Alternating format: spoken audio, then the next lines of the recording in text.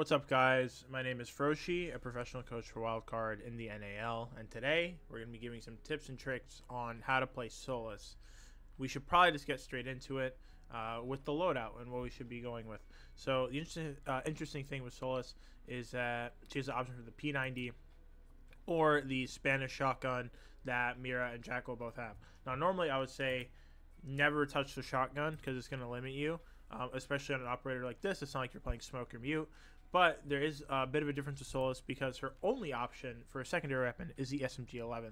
So you can run the shotgun if you want, if maybe if no one on your team is bringing a shotgun, and you need someone for rotates, or you spend on uh, spending the whole round under a site or, or making ver maybe on like border or chalet or, or uh, cafe.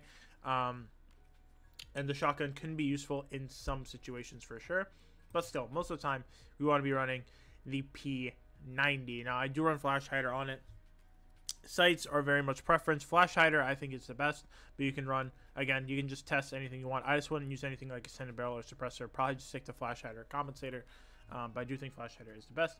SMG-11 is the only option we have. Uh, so there is no choice to be made there.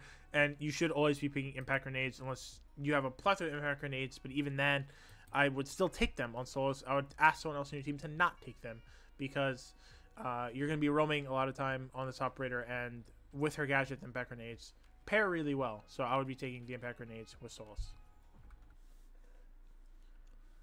So with our first tip here, we're going to be discussing essentially how we should be starting rounds as Solis, what we should be doing in the early round. So the big thing with Solis, if you don't understand the main thing with her gadget, is she can see electronics uh, through walls and she can identify them. So this includes like drones, thermite charges, uh, the phones attackers use, nomad chargers, claymores, literally anything that has a battery, she's gonna be able to uh, detect. So like the only thing she won't be able to detect is like gridlocks is what comes to my mind and things like that. Um, but the big thing with Solis is you know she's kind of like an IQ on defense. It should be really useful, and the drone part of what I said is probably the biggest part of her kit that she can really hunt down drones really well, identify where attackers are droning or where they're placing their flank cams and things like that. Please understand, drones are the best gadget in the game, point blank, period, and every attacker gets two of them. The drone game is very, very important to understand, and if you can take down some of that drone economy on the other side, which you can do really well with Solis, that's going to be great, um, especially with um, her gadget and in the prep phase what we want to be doing is keeping our setup really short. So the max we want to do is reinforce like one or two walls. I would really try to stick to one but if you're solo queuing and no one on your team is reinforcing any walls at all then you might want to help out there we want to get straight to drone hunting for the most part. We want to get straight to where are we going to roam and how are we going to do it and can we get any drones along the way. So if I want to roam and reading, I'm just going to be running around looking for these drones. If I see a drone, I'm going to hunt it down right? Because that's our main priority here. Number one priority is get these drones down as quickly as possible, hunt these drones, and from that point on, um, we can kind of get ready for our roam. And then the other part of how we're going to play the early round, sort of after the prep phase, after the first 45 seconds, we really want to read where the attack is going and what we want to do the thing is with Solis, right? And this is why you see people like if you watch Pro League, why you would see like Canadian play Solis a lot because Canadian can read the game really well. You can read a game and what the attackers want to do off of people's drones and where they're droning. So if I am roaming and my team is defending Cocktail and I see two, three drones or cameras outside of this snow balcony, I can be like, okay, guys, they're gonna try and execute Cocktail. Or maybe I see like one guy, you know, here or outside a snow balcony. Maybe I see someone by garage, and maybe I see someone by the white window and things like that. Um, I can really make that call and sort of move off of that. I can try and get again get more drone and get more drones killed, as well as make my rotations. Do I need to fall off? Do I need my other roamers to fall off? I roaming with a duo? Do I need to tell my duo, hey, go support the site while I sit here and wait to flank or something? So it's really important as Solis user um, you know the opportunity in the early round to get some good information uh, on where the attack is going and what they're trying to do, and trying to deny the attack information by destroying their drones. Those are the two key things that you want to do in the early round as Solis. All right, so next up uh, for us now is how can we make plays and waste extra time using Solis's gadget as a roamer? So the big thing here, we kind of mentioned uh, how we can read the game early on in the last tip with uh, Solis and how we can sort of position ourselves for what we want to do later. That's really important as Solis. You don't want to be dying early. You want to be able to make an impact late because your gadget is so good at being able to read where a team is going. You're able to waste a lot of time because of it. So the main thing here is we can waste a lot of time not only just by destroying people's drones, but we can destroy people's flank cams. We can destroy nomad charges, and we can make plays off of that. We can impact below people while they're trying to clear. So I know this probably isn't the best example because I'm on cafe, and this would be the site. But if I'm somewhere, I'm trying to think maybe like chalet, and I'm defending games and I'm defending in dining. Maybe I impact someone trying to clear. They're gonna have to try and deal with me. Another thing is people are gonna see a Solis under. They're gonna try and clear you. You need to be able to fall off and keep your life.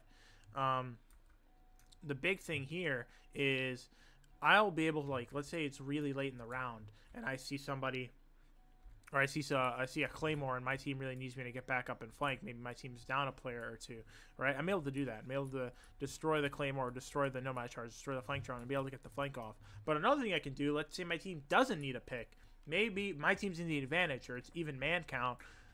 Uh, something I can do is just destroy the flank drone. And what, what's going to happen after that is I can leave. They're not going to know I left. They're just going to see that I destroyed the flank drone. Or they're not going to, uh, you know, or they're not going to hear the nomad charge beeping anymore because you destroyed it or whatever it may be. And because I've done that, I don't necessarily have to flank. They're going to have to go and replace that utility. They're going to have to go and check again. Am I flanking? Do I need to place this nomad charge back on? I'm going to be able to delay that execute. Um, so the big thing to remember here is as a roamer, not just with Solis, you should really only be flanking it around if your team needs a kill, because a lot of the time flanking in this game can be very risky. But that's two ways you can kind of handle the flanking with Solis. You can get aggressive if your team needs the picks and it's late on, and you can do it a lot better with Solis than you would with other operators because of her utility. Or you can just waste time, destroy the attacker's flank drones, and, and really waste a lot of time that way, and just escape with your life. Another thing I like doing with Solis is if I see a solo roamer, let's say I'm on skyscraper for or for this example, not roamer, sorry, attacker. Uh, for this example, I'm on cafe. Maybe I see someone on this repel. Maybe it's a nomad. Maybe it's a ash or whatever it may be, right? But for example, let's say it's like someone with a claymore or someone with air jabs, right? Like nomad. Um, right? I'll see them maybe on their cam here, or I'll hear them on the window, and I'll see their claymore. And if I can kind of confirm that they're alone, what I can do from this point on is just something like this, right? And they're kind of already dead at that point. Or um, ideally, the door's already open. That's sort of the big thing there. Um, maybe the door isn't closed, and if that's the case, right? Uh, we just have to impact once and we're out, right? We've destroyed we destroyed the nomad charge we've destroyed the the claymore and we can we can make our play. That's sort of the big thing there. Um, the door should probably always be open so you won't have to worry about that. Uh, windows just make sure you prep your windows early on you might want to jump out of and just look for those like cheeky little jump outs when you can um, because they're a lot less risky with Solis because you can get that intel off. Uh, just like if you played Valk before she got nerfed if you had a Valk cam outside you could, you know, get a lot of free kills because you just knew what was going on. So if you can see those claymores, you can identify a solo attacker, destroy their flank watch, destroy their claymore, and get that free pick. Um, yeah, so those are two really big ways that we can waste time and make plays with Solis, right? By destroying flank cams as well as identifying solo attackers and getting those really easy run out kills. Okay, last tip with Solis here uh, is understanding the vertical aspect of her gadget. So specifically when denying a plant, uh, if we're under a site that has a soft floor, we can see, right? Again, I'm, I'm kind of just using cafe as an example because it's really easy, but you can do this on a lot of maps um, and a lot of sites where, you know, if it's late on, like 20 seconds left, right? And I can see, you know, because one of the things you can see with this gadget is the defuser. You can see the defuser, right? While it's being planted and before it's being planted, or, or after it's been planted, sorry you can see the defuser. I don't have impacts left because I'm on the same round as early from the last example. But if I see someone planting and I'm under, I can impact the planter and kill them, right? Impact the hole below them and shoot them. And get the defuse down, and if there's not enough time left, I can win the round off that. People have seen, uh, we you know we we in Pro League have seen a lot of clutches because Solis has been under and we haven't been able to deal with her. It's the same thing as like Echo, right? Or just a regular C4 from below and you got a cam or a maestro. Most of the time, it's Echo is the common one that we see a lot. Echo concussing the defuse planter and getting him off and winning the round because of it. Solis is really great because you can kill the person, but it's also kind of oh, sometimes harder to pull off.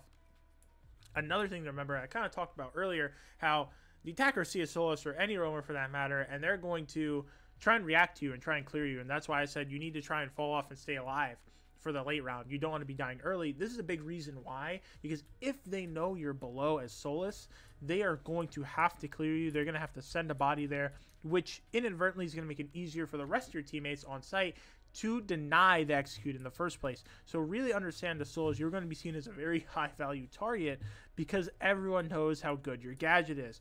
Everyone knows you can run out on them. Everyone knows you can destroy their flank cams. Everyone knows you can stop them from droning. Everyone knows you can stop them from planting. It's just like if you saw a pulse below, you're gonna be like, we have to clear this pulse. It's the same thing, right?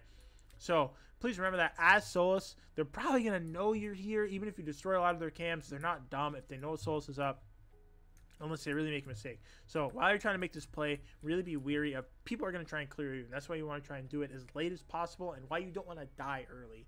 Um, again, as any roamer, it's important to not die early, which is a really forehead thing to say.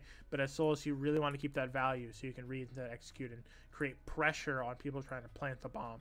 So that's going to be all for today. I hope I helped you guys, and I hope you guys do a lot better with Solis now. And have a great day.